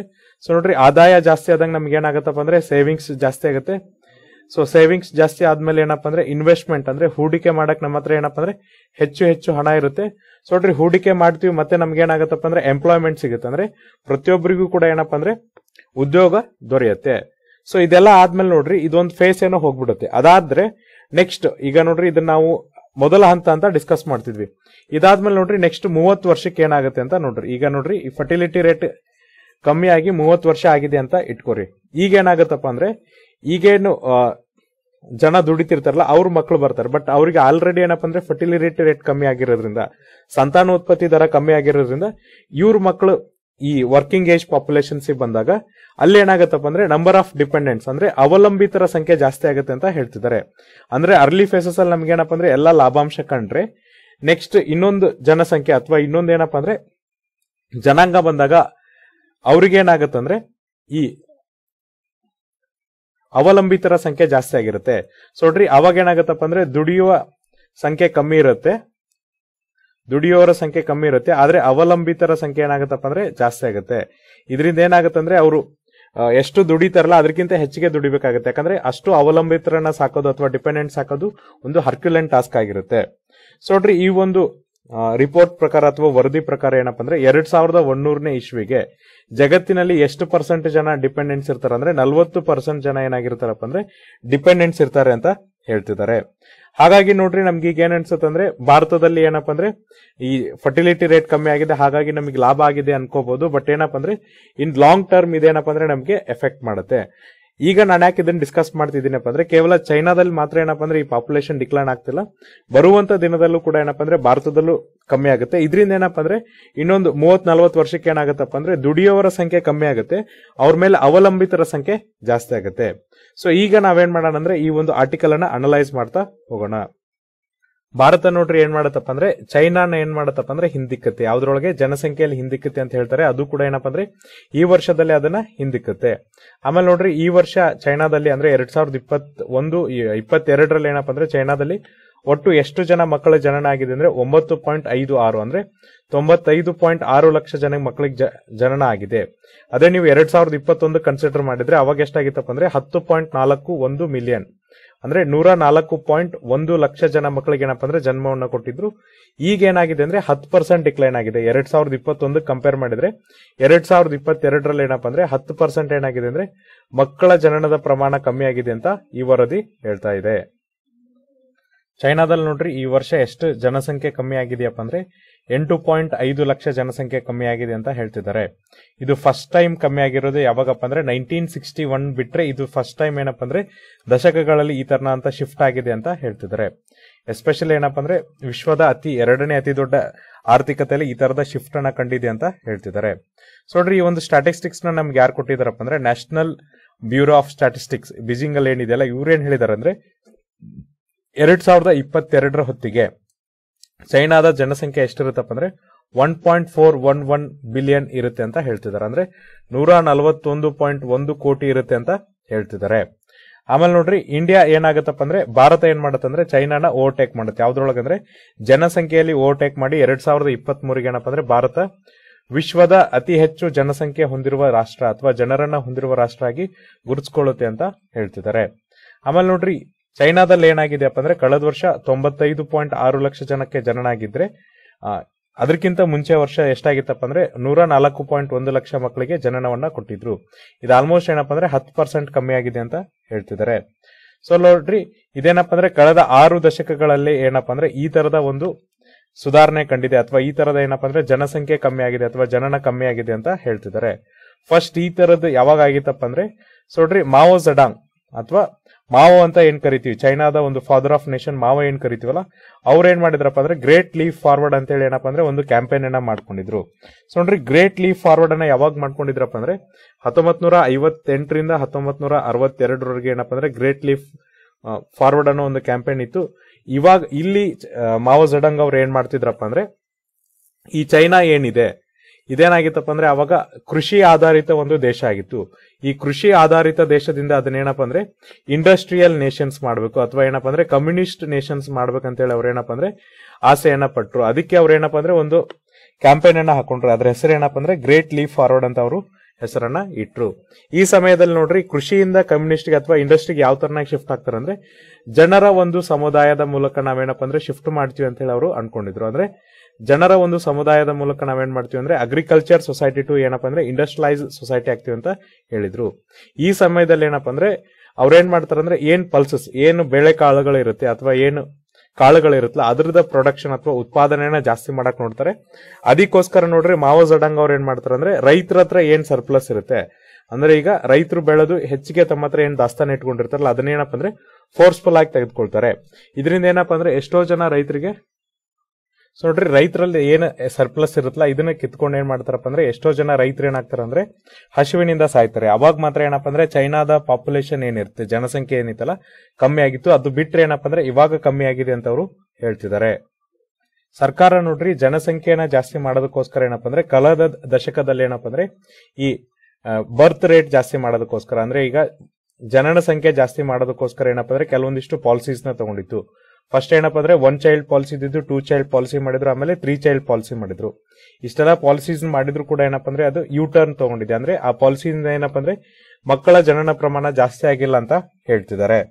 ಸೊ ನೋಡ್ರಿ, ಎರಡ್ ಸಾವಿರದ ಇಪ್ಪತ್ತೊಂದರಲ್ಲಿ ಏನಪ್ಪ ಅಂದ್ರೆ ಬಿಜಿಂಗ್ ಫಸ್ಟ್ ಟೈಮ್ ಅಂದ್ರೆ ಚೈನಾ ಫಸ್ಟ್ ಟೈಮ್ ಏನ್ ಮಾಡಿತಪ್ಪ ಅಂದ್ರೆ ತ್ರೀ ಚೈಲ್ಡ್ ಪಾಲಿಸಿನ ಅಡಾಪ್ಟ್ ಮಾಡ್ಕೋಬಹುದು ಅಂದ್ರೆ ಒಂದು ಕಪಲ್ಸ್ ಏನ್ ಮಾಡ್ಬೋದಪ್ಪ ಅಂದ್ರೆ ಮೂರು ಮಕ್ಕಳನ್ನ ಹೊಂದಬಹುದು ಅಂತ ಹೇಳಿದ್ರು. ಇದೇನಪ್ಪ ಅಂದ್ರೆ ಟೂ ಚೈಲ್ಡ್ ಪಾಲಿಸಿ ಬಂದು ಬಹಳಷ್ಟು ದಿನಗಳಾದ್ಮೇಲೆ ಏನಪ್ಪ ಅಂದ್ರೆ ಈ ಒಂದು ಪಾಲಿಸೀಸ್ನ ಅಡಾಪ್ಟ್ ಮಾಡ್ಕೊಂಡಿದ್ರು. ಸೊ ನೋಡ್ರಿ ಒಂದು ಗೌರ್ಮೆಂಟ್ ಸರ್ವೆ ಪ್ರಕಾರ ಏನಪ್ಪ ಅಂದ್ರೆ ಅವರು ಒಂದು ಎಪ್ಪತ್ತು ಪರ್ಸೆಂಟ್ ರೆಸ್ಪಾಂಡೆಂಟ್ಸ್ಗೆ ಸರ್ವೆ ಮಾಡಿದಾಗ ಅಲ್ಲಿ ಜನ ಏನ್ ಹೇಳ್ತಾರೆ ಅಂದ್ರೆ ನಾವ್ ಯಾಕೆ ಹೆಚ್ಚಿನ ಮಕ್ಕಳನ್ನ ಹೊಂದಲ್ಲ? ಈಗ ನೋಡ್ರಿ ಒಂದ್ ಚೈಲ್ಡ್ ಇಂದ ಒಬ್ರು ಮಕ್ಕಳಿಂದ ಇಬ್ರನ್ನ ಯಾಕೆ ಹೊಂದಲ್ಲ? ಮೂರ್ ಜನನ ಯಾಕೆ ಹೊಂದಲ್ಲ ಅಂದ್ರೆ, ಅಲ್ಲಿ ಅವರು ಕೊಡುವಂತ ಕಾರಣಗಳೇನಪ್ಪ ಅಂದ್ರೆ, ಆರ್ಥಿಕ ಕಾರಣಗಳನ್ನ ಕೊಡ್ತಾರೆ. ಇದ್ರೊಳಗೆ ಏನಪ್ಪಾ ಅಂದ್ರೆ, ಶಿಕ್ಷಣ. ಈಗ ನೋಡ್ರಿ, ಆರ್ಥಿಕ ಕಾರಣಗಳು ಏನೇನ್ ಕೊಡ್ತಾರಪ್ಪ ಅಂದ್ರೆ, ಮಕ್ಕಳಿಗೆ ಶಿಕ್ಷಣಕ್ಕೆ ವಹಿಸುವಂತ ವೆಚ್ಚ ಜಾಸ್ತಿ ಇರುತ್ತೆ. ಅವರ ಆರೋಗ್ಯಕ್ಕೆ ಬೇಕಾದಂತ ವೆಚ್ಚ ಜಾಸ್ತಿ ಇರುತ್ತೆ. ಆಮೇಲೆ ಹೌಸಿಂಗ್ ಅಂದ್ರೆ ಈಗ ಮಕ್ಕಳು ಜಾಸ್ತಿ ಆದಂಗೆ ಮನೆನೂ ದೊಡ್ಡದಾಗಬೇಕು ಇದಕ್ಕೆ ಬೇಕಾದಂತ ಹೆಚ್ಚಿಗೆ ಹಣ ಜಾಸ್ತಿ ಆಗುತ್ತೆ. ಹಾಗಾಗಿ ನಾವೇನಪ್ಪ ಅಂದ್ರೆ ಹೆಚ್ಚಿನ ಮಕ್ಕಳನ್ನ ಹೊಂದಲ್ಲ ಅಂತ ಹೇಳ್ತಿದ್ದಾರೆ. ಆಮೇಲೆ ನೋಡ್ರಿ ಈ ಮಂಗಳವಾರ ಬಂದಂತ ನಂಬರ್ಸ್ ಏನ್ ಹೇಳುತ್ತಪ್ಪ ಅಂದ್ರೆ ಕೆಲವೊಂದಿಷ್ಟು ಸಮಸ್ಯೆಗಳನ್ನ ಹೇಳುತ್ತೆ. ಅಂದ್ರೆ ಈಗ ಚೈನಾದಲ್ಲಿ ಯಾವ ತರನಾದಂತ ಸಮಸ್ಯೆಗಳಿದೆ ಅಂತ ಹೇಳ್ತಾರೆ.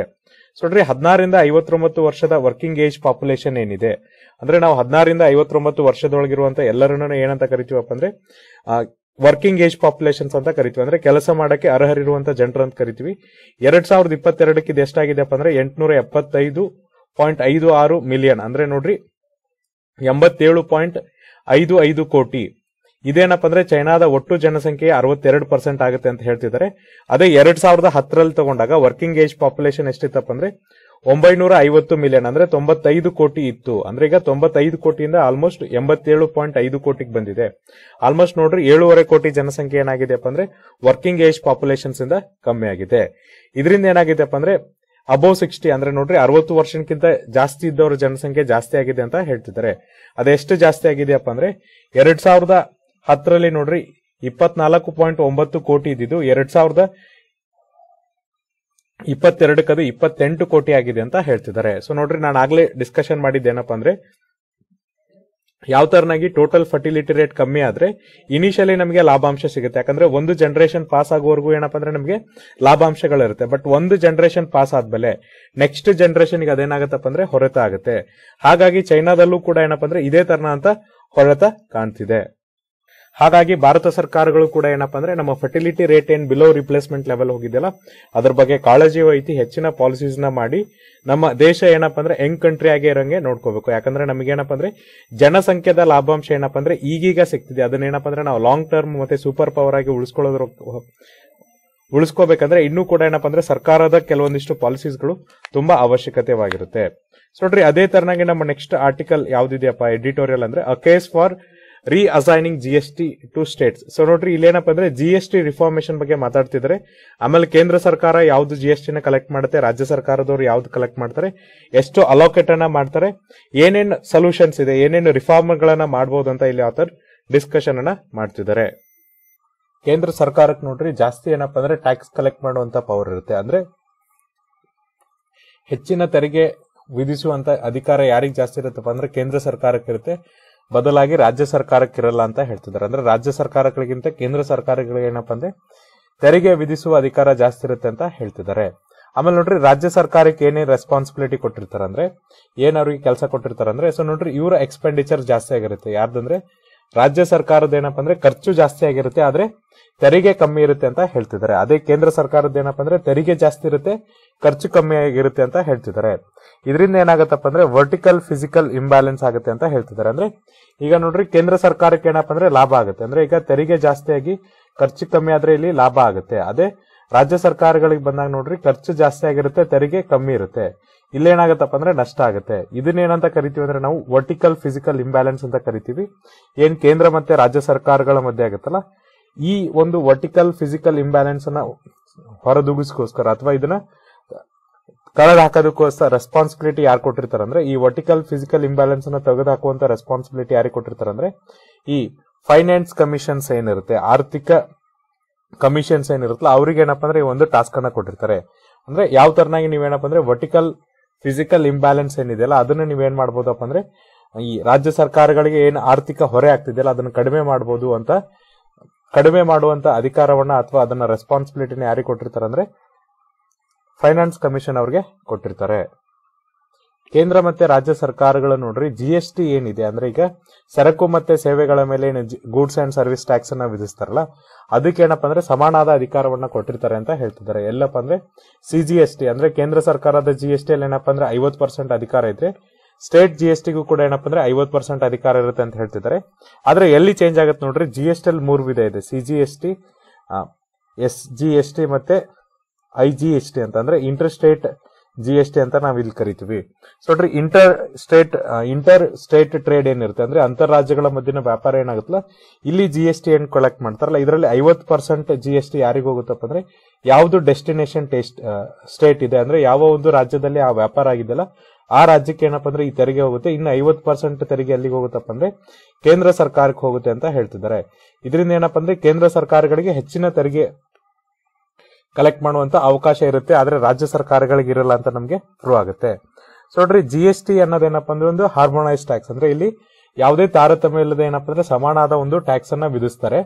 ಆಮೇಲೆ ನೋಡ್ರಿ, ಇಲ್ಲಿ ಯಾವುದೇ ತರನಾಗ ಏನಪ್ಪ ಅಂದ್ರೆ ಪ್ರತಿಯೊಂದು ಇಂಡಿವಿಜುವಲ್ ಸ್ಟೇಟಿಗೆ ಏನಪ್ಪ ಅಂದ್ರೆ ಎಕ್ಸ್ಟ್ರಾ ಪವರ್ ಇರಲ್ಲ. ಈಗ ಅವ್ರಿಗೆ ಬೇಕಾದಷ್ಟು ಏನಪ್ಪ ಅಂದ್ರೆ ಜಿ ಎಸ್ ಟಿ ವಿಧಿಸುವಂತ ಅಧಿಕಾರ ಇರಲ್ಲ. ಅದೇ ತರನಾಗಿ ಕೇಂದ್ರ ಸರ್ಕಾರಗಳು ಕೂಡ ಏನಪ್ಪ ಅಂದ್ರೆ ಜಿ ಎಸ್ ಟಿ ರೇಟ್ ಅನ್ನ ಜಾಸ್ತಿ ಮಾಡುವಂತ ಅಧಿಕಾರ ಇರಲ್ಲ. ನೋಡ್ರಿ ಏನಾದ್ರೂ ಜಿ ಎಸ್ ಟಿ ರೇಟ್ ಜಾಸ್ತಿ ಮಾಡೋದಿತ್ತು, ಕಮ್ಮಿ ಮಾಡೋದಿತ್ತು ಅಂದ್ರೆ ಏನ್ ಮಾಡ್ಬೇಕಪ್ಪ ಅಂದ್ರೆ first G S T council meeting ಮಾಡಬೇಕು.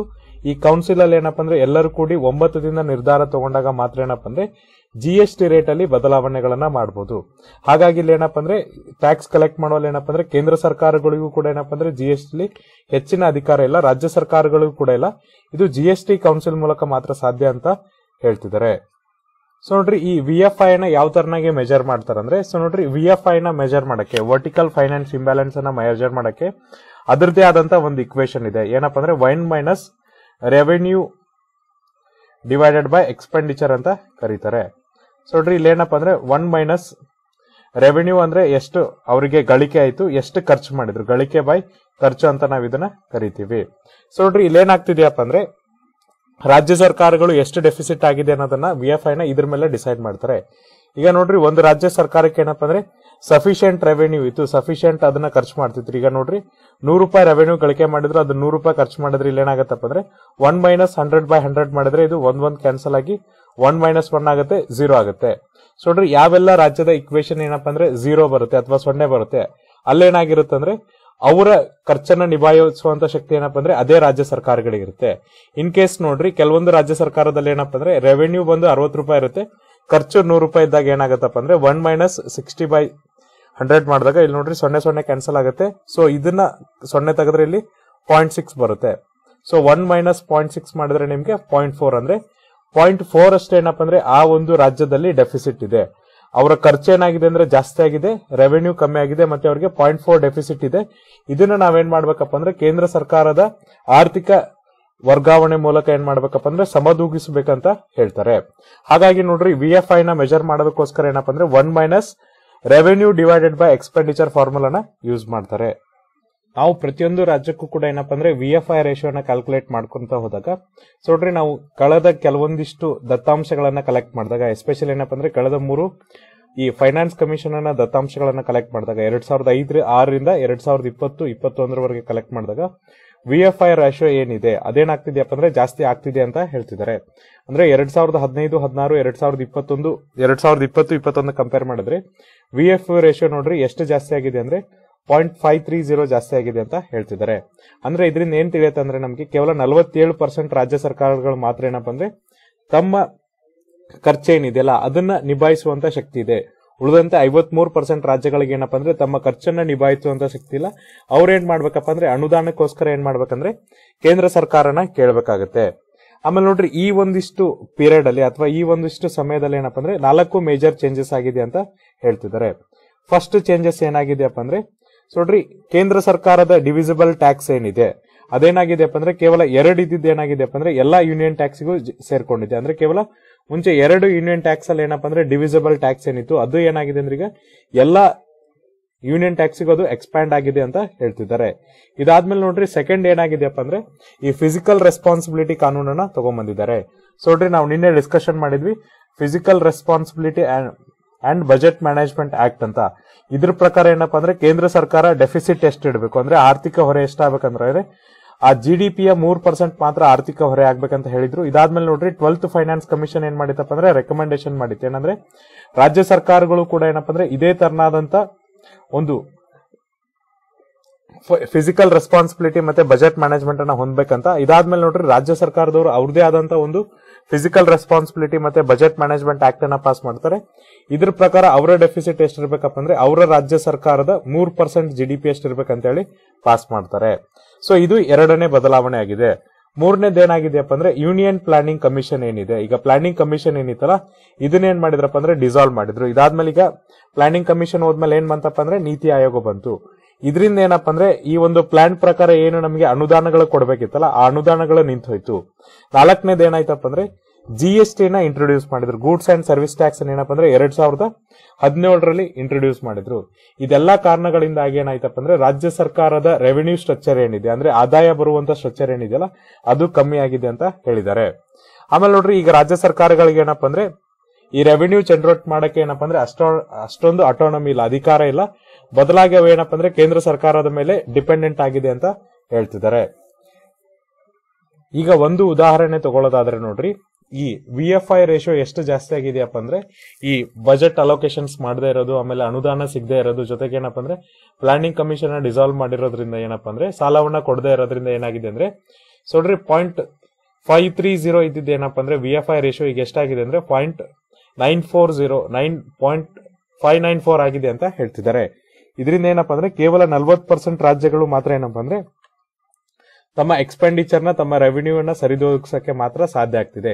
ಇನ್ನುಳಿದಂತ ಅರವತ್ತು ರಾಜ್ಯ ಸರ್ಕಾರಗಳು ಏನಪ್ಪಾ ಅಂದ್ರೆ ಕೇಂದ್ರ ಸರ್ಕಾರದ ಮೇಲೆ ಡಿಪೆಂಡೆಂಟ್ ಆಗಿದೆ ಅಥವಾ ಅವಲಂಬಿತರಾಗಿದ್ದಾರೆ ಅಂತ ಹೇಳ್ತಿದ್ದಾರೆ. ಸೊ ನೋಡ್ರಿ, ಈ ಸುಧಾರಣೆಗೋಸ್ಕರ ಕೆಲವೊಂದಿಷ್ಟು ಪ್ರಪೋಸಲ್ಸ್ನ ಕೊಡ್ತಿದ್ದಾರೆ. ಸೊ ನೋಡ್ರಿ ವಿ ಎಫ್ ಐ ನ ಯಾವ ತರನಾಗಿ ವಿ ಎಫ್ ಐ ನ ಯಾವ ತರನಾಗಿ ಸುಧಾರಣೆ ಮಾಡ್ಬೇಕಂತ ಕೆಲವೊಂದಿಷ್ಟು ಪ್ರಪೋಸಲ್ನ ಕೊಡ್ತಿದ್ದಾರೆ.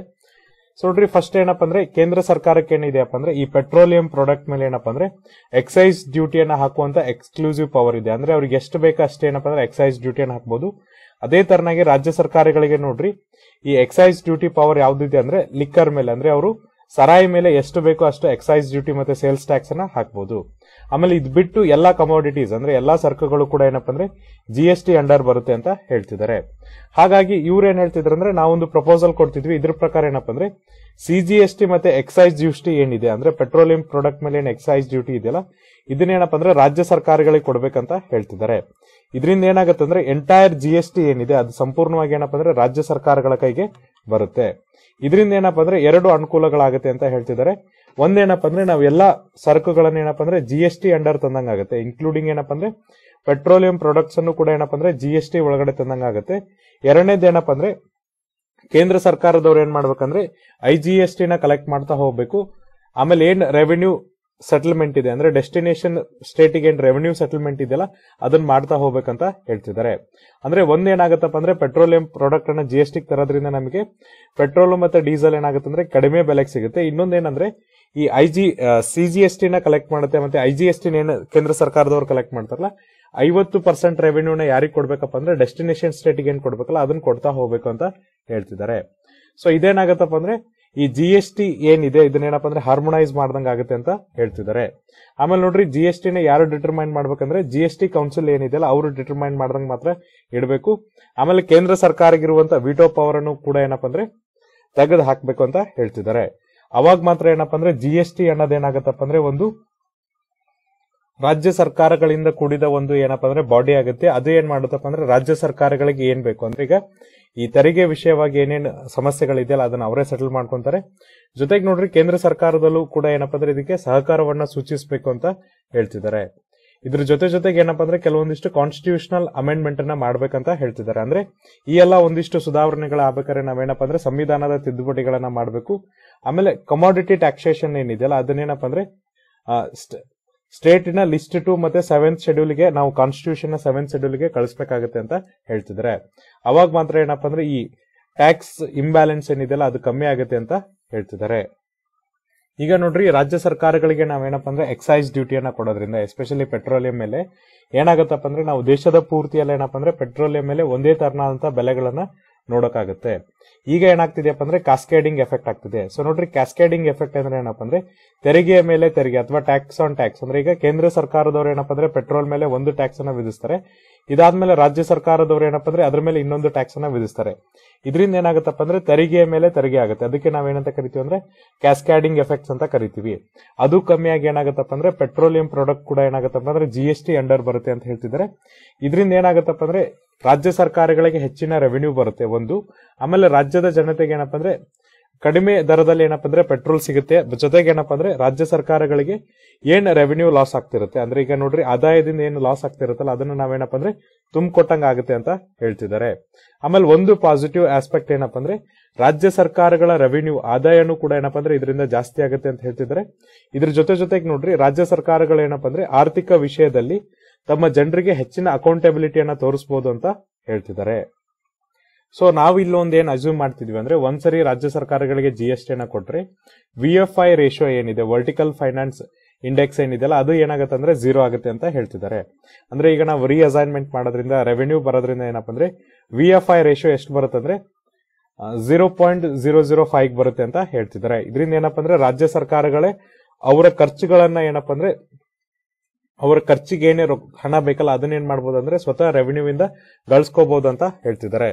ಇದರಿಂದ ಏನಪ್ಪಾ ಅಂದ್ರೆ ಕೇಂದ್ರ ಸರ್ಕಾರದ ತೆರಿಗೆ ಏನಿದೆ, ಅಥವಾ ಕೇಂದ್ರ ಸರ್ಕಾರದವರಿಗೆ ಅವ್ರಿಗೆ ಅನುದಾನಗಳನ್ನ ಕೊಡ್ತಾರಲ್ಲ, ಆ ಅನುದಾನಗಳನ್ನ ಕೊಡುವಂತದ್ದು ಏನಪ್ಪಾ ಅಂದ್ರೆ ಪರಿಸ್ಥಿತಿ ಬರಲ್ಲ. ಜೊತೆಗೆ ಏನಪ್ಪಾ ಅಂದ್ರೆ ರಾಜ್ಯ ಸರ್ಕಾರಗಳು ಕೂಡ ಏನಪ್ಪಾ ಅಂದ್ರೆ ಇಂಡಿಪೆಂಡೆಂಟ್ ಆಗಿರುತ್ತೆ, ಸ್ವತಂತ್ರವಾಗಿ ಕೆಲಸಗಳನ್ನ ಮಾಡಬಹುದು ಅಂತ ಹೇಳ್ತಿದ್ದಾರೆ. ಆಮೇಲೆ ನೋಡ್ರಿ, ಇನ್ನೊಂದು ಸಮಸ್ಯೆ ಏನಾಗುತ್ತಪ್ಪ ಅಂದ್ರೆ ಈಗ ಫೈನಾನ್ಷಿಯಲ್ ಟ್ರಾನ್ಸ್ಫರ್ ಏನಿದೆ, ಆರ್ಥಿಕ ಟ್ರಾನ್ಸ್ಫರ್ ಮಾಡ್ಬೇಕಂತ ಏನು ವಿ ಎಫ್ ಐಗೋಸ್ಕರ ಏನು ಕೇಂದ್ರ ಸರ್ಕಾರದವ್ರು ಆರ್ಥಿಕ ಟ್ರಾನ್ಸ್ಫರ್ ಮಾಡ್ಬೇಕಲ್ಲ, ಅನುದಾನವನ್ನ ಕೊಡ್ಬೇಕಲ್ಲ, ಅದನ್ನ ನಿಲ್ಲಿಸಬಹುದು ಯಾವಾಗಪ್ಪ ಅಂದ್ರೆ ಎಂಟೈರ್ ಜಿ ಎಸ್ ಟಿನ ನಾವು ರಾಜ್ಯ ಸರ್ಕಾರಗಳಿಗೆ ಕೊಟ್ರೆ. ಆದ್ರೆ, ಒಂದು ಕಂಡೀಷನ್ ಏನಪ್ಪಾ ಅಂದ್ರೆ, ಈ ಜಿ ಕನ್ಸಂಪ್ಷನ್ ಏನಿದೆ? ಅಂದ್ರೆ ಈಗ ನೋಡ್ರಿ, ಕೆಲವೊಂದಿಷ್ಟು ರಾಜ್ಯಗಳಲ್ಲಿ ಏನಪ್ಪಾ ಅಂದ್ರೆ, ಹೆಚ್ಚಿನ ಕನ್ಸಂಪ್ಷನ್ ಆಗುತ್ತೆ, ಕೆಲವೊಂದಿಷ್ಟು ರಾಜ್ಯಗಳಲ್ಲಿ ಕಡಿಮೆ ಕನ್ಸಂಪ್ಷನ್ ಆಗುತ್ತೆ. ಹಾಗಾಗಿ ಇದೇನಪ್ಪ ಅಂದ್ರೆ, ಎಲ್ಲಾ ರಾಜ್ಯಗಳಲ್ಲಿ ಕೂಡ ಏನಪ್ಪಾ ಅಂದ್ರೆ, ಸಮಾನವಾಗಿಲ್ಲ. ಇದರಿಂದ ಏನಾಗತ್ತಪ್ಪ ಅಂದ್ರೆ ಅನ್ಇಕ್ವಾಲಿಟಿ ಬರುತ್ತೆ ಅಂತ ಹೇಳ್ತಿದ್ದಾರೆ. ಸೊ ಇದರಿಂದ ಏನಪ್ಪ ಅಂದ್ರೆ ಒಂದಿಷ್ಟು ರಾಜ್ಯಗಳ ರೆವೆನ್ಯೂ ಏನಾಗುತ್ತೆ ಅಂದ್ರೆ ಜಾಸ್ತಿ ಆಗುತ್ತೆ ಮತ್ತು ಕೆಲವೊಂದಿಷ್ಟು ರಾಜ್ಯಗಳ ರೆವೆನ್ಯೂ ಏನಾಗುತ್ತೆ ಅಂದ್ರೆ ಕಮ್ಮಿ ಆಗ್ತಾ ಹೋಗುತ್ತೆ. ಇದರಿಂದ ಏನಾಗುತ್ತಪ್ಪ ಅಂದ್ರೆ ವರ್ಟಿಕಲ್ ಫಿಸಿಕಲ್ ಇಂಬ್ಯಾಲೆನ್ಸ್ ಬದಲಾಗಿ ಹಾರಿಜಾಂಟಲ್ ಫಿಸಿಕಲ್ ಇಂಬ್ಯಾಲೆನ್ಸ್ ಬರುತ್ತೆ ಅಂದ್ರೆ ರಾಜ್ಯ ರಾಜ್ಯಗಳ ಮಧ್ಯೆ ಏನಪ್ಪಾ ಅಂದ್ರೆ ಆರ್ಥಿಕ ಹೊರೆ ಏನಾಗುತ್ತೆ ಅಂದ್ರೆ ಚೇಂಜ್ ಆಗ್ತಾ ಹೋಗುತ್ತೆ. ಕೆಲವೊಂದು ರಾಜ್ಯಗಳು ಏನಪ್ಪಾ ಅಂದ್ರೆ ಹೆಚ್ಚಿನ ಲಾಭದಲ್ಲಿದ್ರೆ ಕೆಲವೊಂದಿಷ್ಟು ರಾಜ್ಯ ಸರ್ಕಾರಗಳು ಹೆಚ್ಚಿನ ನಷ್ಟದಲ್ಲಿರುತ್ತೆ. ಹಾಗಾಗಿ ಕೇಂದ್ರ ಸರ್ಕಾರ ಏನ್ ಮಾಡ್ಬೇಕಪ್ಪ ಅಂದ್ರೆ ಈ ಟ್ರಾನ್ಸ್ಫರ್ ಏನಿದೆ ಅಂದ್ರೆ ಈಗ ಏನು ಹಣದ ಟ್ರಾನ್ಸ್ಫರ್ ಅನ್ನ ಮಾಡ್ತಾರೆ, ಅನುದಾನವನ್ನ ಕೊಡ್ತಾರಲ್ಲ ಅದನ್ನೇನಪ್ಪ ಅಂದ್ರೆ ಈಕ್ವಲೈಸೇಷನ್ ಮಾಡ್ಬೇಕಂತ ಹೇಳ್ತಿದ್ದಾರೆ. ಅಂದ್ರೆ ಹಾರಿಜಾಂಟಲ್ ಫಿಸಿಕಲ್ ಇನ್ಇಕ್ವಾಲಿಟಿ ಏನಿದೆಯಲ್ಲ ಅದನ್ನೇನಪ್ಪ ಅಂದ್ರೆ ಈಕ್ವಲೈಸೇಷನ್ ಮಾಡ್ಬೇಕಂತ ಹೇಳ್ತಿದ್ದಾರೆ. ಆಮೇಲೆ ನೋಡ್ರಿ, ಕೇಂದ್ರ ಸರ್ಕಾರ ಏನ್ ಮಾಡ್ಬೇಕಪ್ಪ ಅಂದ್ರೆ, ಎಲ್ಲಿ ಸರ್ಪ್ಲಸ್ ಫಂಡ್ ಇರುತ್ತಲ್ಲ, ಅದನ್ನ ಏನ್ ಮಾಡ್ಬೇಕಪ್ಪ ಅಂದ್ರೆ ತೆಗೆದು ಯಾವ್ದು ಡೆಫಿಸಿಟ್ ಸ್ಟೇಟ್ ಇರುತ್ತೆ. ಅಂದ್ರೆ ಈಗ ಕೆಲವೊಂದಿಷ್ಟು ರಾಜ್ಯಗಳಲ್ಲಿ ಏನಪ್ಪ ಅಂದ್ರೆ ಹೆಚ್ಚಿನ ಲಾಭಾಂಶ ಇರುವಂತಹ ರಾಜ್ಯಗಳಿಂದ ಹಣವನ್ನ ತೆಗೆದು ಕಡಿಮೆ ಅಥವಾ ನಷ್ಟದಲ್ಲಿರುವಂತ ರಾಜ್ಯಗಳಿಗೆ ಏನಪ್ಪ ಅಂದ್ರೆ ಹಣವನ್ನ ಕೊಡಬೇಕಂತ ಹೇಳ್ತಿದ್ದಾರೆ. ಇದರಿಂದ ಏನಾಗತ್ತಪ್ಪ ಅಂದ್ರೆ ಹಾರಿಜಾಂಟಲ್ಲಿ ಕೂಡ ನಮ್ಗೆ ಏನಪ್ಪ ಅಂದ್ರೆ ಫಿಸಿಕಲ್ ಇಂಬ್ಯಾಲೆನ್ಸ್ ಆಗಲ್ಲ. ಜೊತೆಗೆ ಏನಾಗತ್ತಪ್ಪ ಅಂದ್ರೆ ರಾಜ್ಯ ಸರ್ಕಾರಗಳು ಕೂಡ ಏನಪ್ಪ ಅಂದ್ರೆ ಹೆಚ್ಚಿನ ಹಣವನ್ನ ಸಂಗ್ರಹಿಸುವ ಅಧಿಕಾರದ ಜೊತೆಗೆ ಏನಪ್ಪ ಅಂದ್ರೆ ಅವರ ಏನ್ ಎಕ್ಸ್ಪೆಂಡಿಚರ್ ಇದೆ, ಅವರ ಏನ್ ಖರ್ಚಿದೆಯಲ್ಲ ಅದನ್ನೇನಪ್ಪ ಅಂದ್ರೆ ಅವರೇ ಬರೆಸುವಂತ ಕಾಲನೂ ಕೂಡ ಬರುತ್ತೆ ಅಂತ ಹೇಳ್ತಿದ್ದಾರೆ. ಸೊ ಇಷ್ಟು ಸುಧಾರಣೆಗಳನ್ನ ಮಾಡಿದ್ರೆ ಏನಪ್ಪಾ ಅಂದ್ರೆ ರಾಜ್ಯ ಸರ್ಕಾರದ ಆರ್ಥಿಕ ಹೊರೆ ಏನಿದೆಯಲ್ಲ ಅದನ್ನ ಕಮ್ಮಿ ಮಾಡಬಹುದು ಅಂತ ಆಥರ್ ಇಲ್ಲಿ ಹೇಳ್ತಿದ್ದಾರೆ. ಸೊ ಇದು ಏನಪ್ಪ ಅಂದ್ರೆ ಇವತ್ತಿನ ಒಂದು ಹಿಂದೂ ಅನಾಲಿಸಿಸ್ ನಾಳೆ ಮತ್ತೊಂದಿಷ್ಟು ಆರ್ಟಿಕಲ್ಸ್ ಮತ್ತೆ ಎಡಿಟೋರಿಯಲ್ ಡಿಸ್ಕಸ್ ಮಾಡೋಣ. ಅಲ್ಲಿವರೆಗೂ ನೋಡ್ತಾ ಇರಿ classic education YouTube channel thank you